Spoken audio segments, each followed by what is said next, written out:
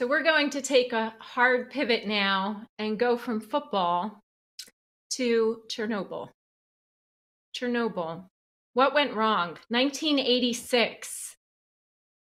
As the reactors were melting down, they had the data to say this is going to be catastrophic. And yet the culture said, no, we're perfect, hide it, don't dare tell anyone which meant they went ahead and had celebrations in Kiev, even though that increased the exposure, additional thousands getting cancer, and 20,000 years before the ground around there can even be inhabited again. This is how powerful and detrimental a negative culture, a culture that is unable to confront the brutal facts that hides data. This is what we have to contend with. And this is why I want you to focus on having, fostering a data driven culture. I don't want you to be a laggard. I want you to be a leader in using data to drive your digital transformation. So I'll talk about culture and technology. Is it really two sides of the same coin? Real world impacts, and then some best practices you can use to disrupt and innovate your culture. Now, oftentimes I would talk about culture and I talk about technology. And recently, a CDO said to me, You know, Cindi, I actually think this is two sides of the same coin. One reflects the other. What do you think? Let me walk you through this. So let's take a laggard what does the technology look like? Is it based on 1990s BI and reporting, largely parameterized reports, on premises data warehouses, or not even that, operational reports? At best, one enterprise data warehouse, very slow moving, and collaboration is only email. What does that culture tell you? Maybe there's a lack of leadership to change, to do the hard work that Sudesh referred to. Or is there also a culture of fear, afraid of failure, resistance to change, complacency? And sometimes that complacency, it's not because people are lazy, it's because they've been so beaten down every time a new idea is presented. It's like, no, we're measured on least cost to serve. So, politics and distrust, whether it's between business and IT or individual stakeholders, is the norm. So, data is hoarded. Let's contrast that with a leader, a data and analytics leader. What does their technology look like? Augmented analytics, search and AI driven insights, not on premises, but in the cloud and maybe multiple clouds. And the data is not in one place, but it's in a data lake and in a data warehouse, a logical data warehouse. The collaboration is via newer methods, whether it's Slack or Teams, allowing for that real time decisioning or investigating a particular data point. So, what is the culture in the leaders? It's transparent and trust. There is a trust that data will not be used to punish, that there is an ability to confront the bad news. It's innovation, valuing innovation in pursuit of the company goals, whether it's the best fan experience and player safety in the NFL or best serving your customers. It's innovative and collaborative. There's none of this, oh, well, I didn't invent that. I'm not going to look at that. There's still pride of ownership, but it's collaborating to get to a better place faster. And people feel empowered to present new ideas, to fail fast, and they're energized knowing that they're using the best technology and innovating at the pace that business requires. So data is democratized and democratized not just for power users or analysts, but really at the point of impact, what we like to call the new decision makers, or really the frontline workers. So, Harvard Business Review partnered with us to develop this study to say just how important is this. We've been working at BI and analytics as an industry for more than 20 years. Why is it not at the front lines, whether it's a doctor, a nurse, a coach, a supply chain manager, a warehouse manager, a financial services advisor? 87% said they would be more successful if frontline workers were empowered with data driven insights, but they recognize they need new technology to be able to do that. It's not about learning hard tools. The sad reality only 20% of organizations are actually doing this. These are the data driven leaders. So, this is the culture and technology. How did we get here? It's because state of the art keeps changing. So, the first generation BI and analytics platforms were deployed on premises on small data sets, really just taking data out of ERP systems that were also on premises.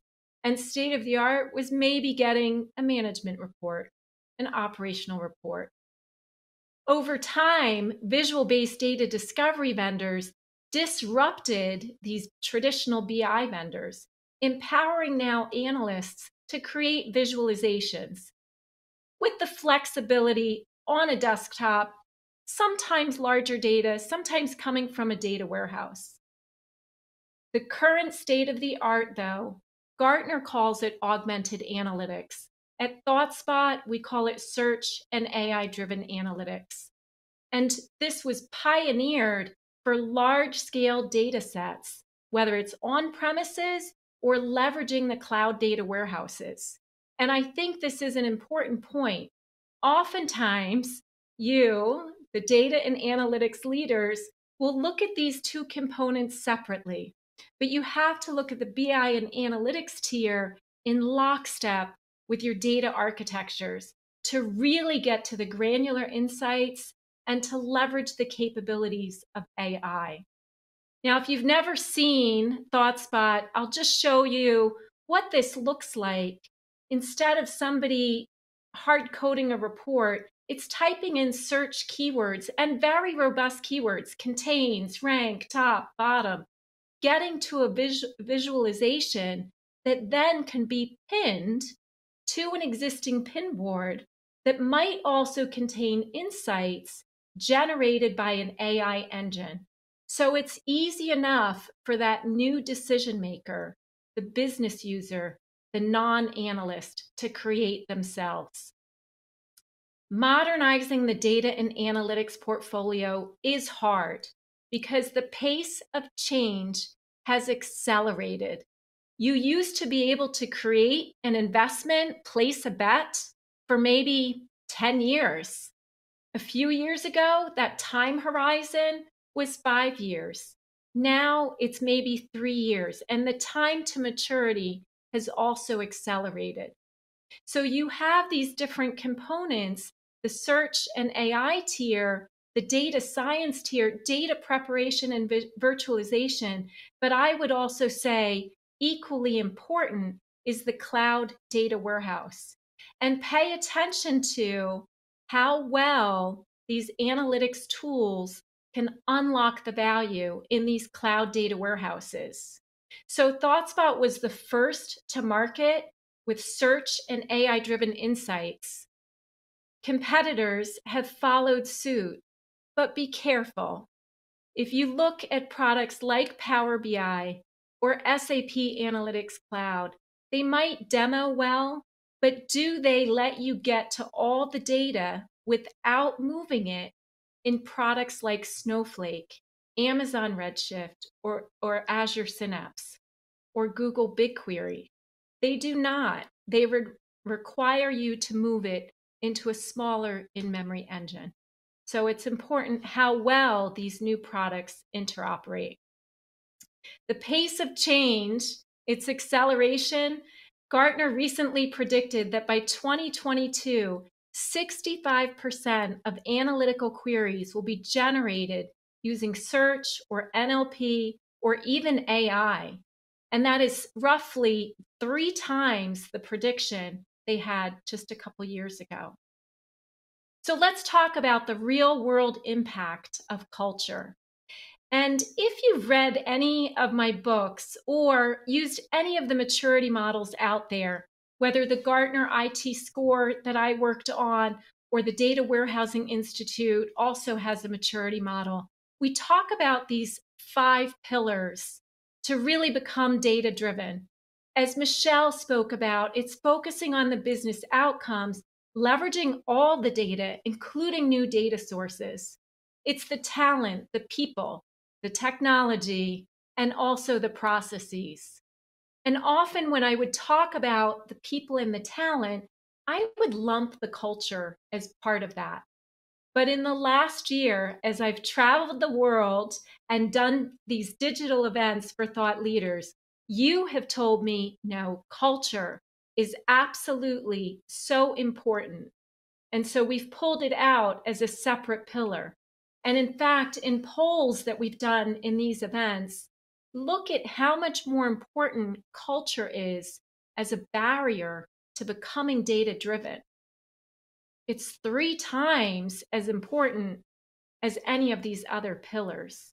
That's how critical it is.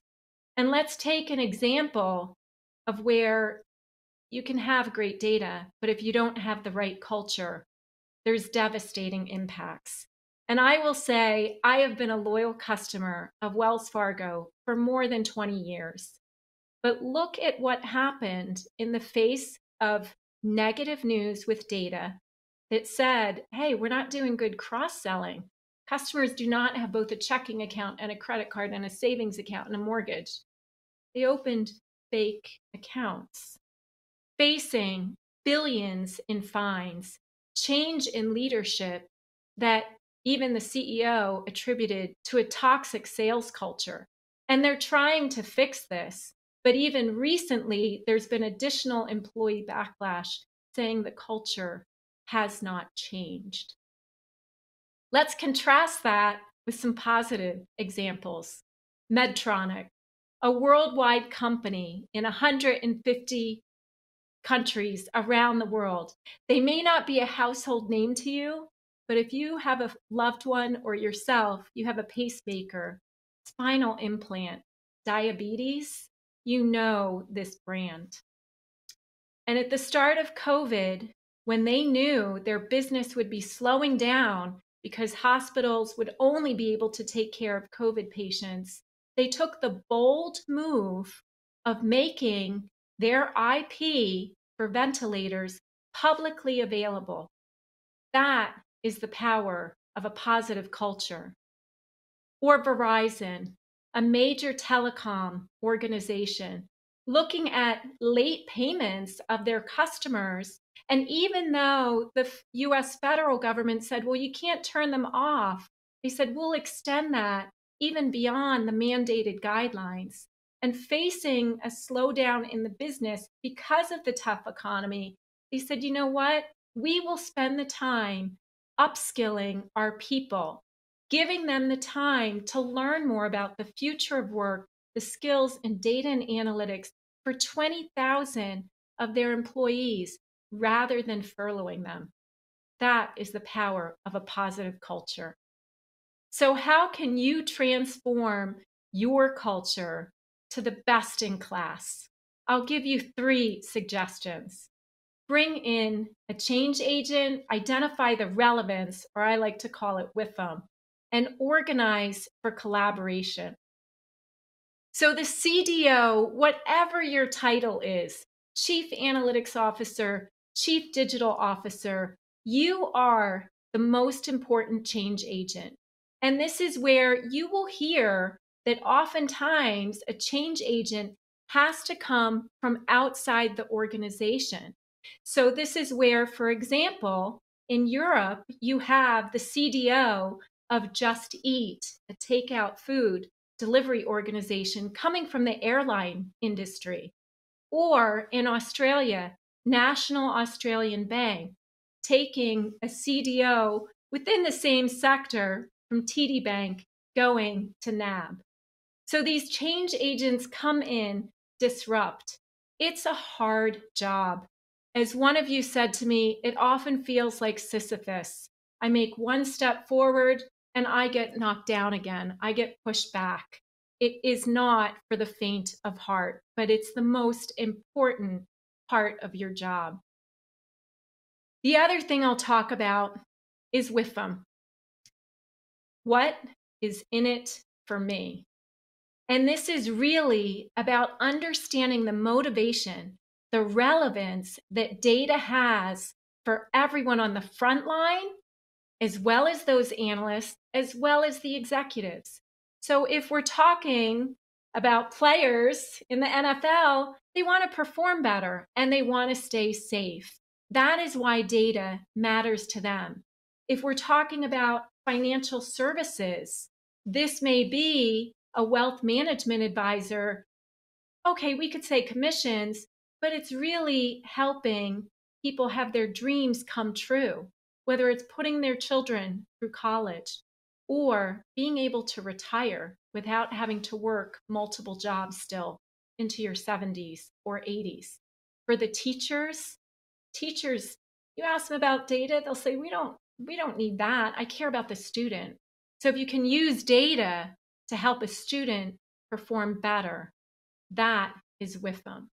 And sometimes we spend so much time talking the technology we forget what is the value we're trying to deliver with this. And we forget the impact on the people that it does require change. In fact, the Harvard Business Review study found that 44% said lack of change management is the biggest barrier to leveraging both new technology, but also being empowered to act on those data driven insights. The third point organize for collaboration. This does require diversity of thought, but also bringing the technology, the data, and the business people together. Now, there's not a single one size fits all model for data and analytics at one point in time, even having a BICC, a BI competency center, was considered state of the art.